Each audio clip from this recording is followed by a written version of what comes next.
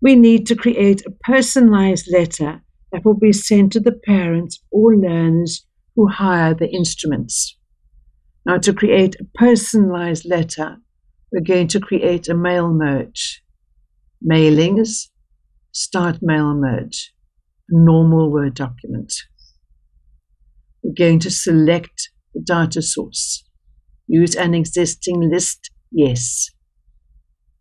Orchestra database. It needs to go to the parents, guardians of learners who hire the instruments. I need to create a filter. Edit the recipient list.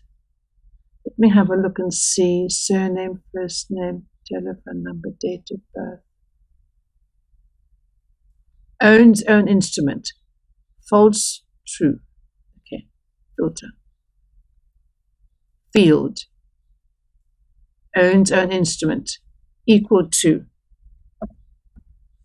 false. No, it must be exactly correct. That's right. Okay, now it's just going to go to those who do not own their own instrument. Now I'm going to insert the different fields.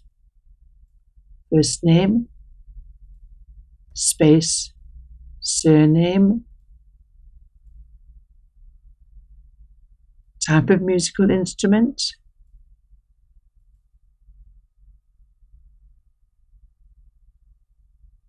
that's correct, space.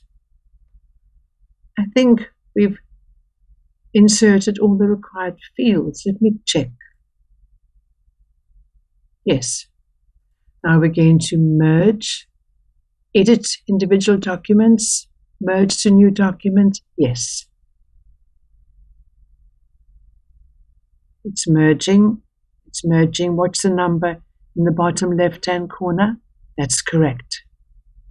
Now we're going to save this. I'm saving it on my desktop again. Letter hired. Okay. And the letter will only be sent to those parents, guardians of learners who hire their instruments.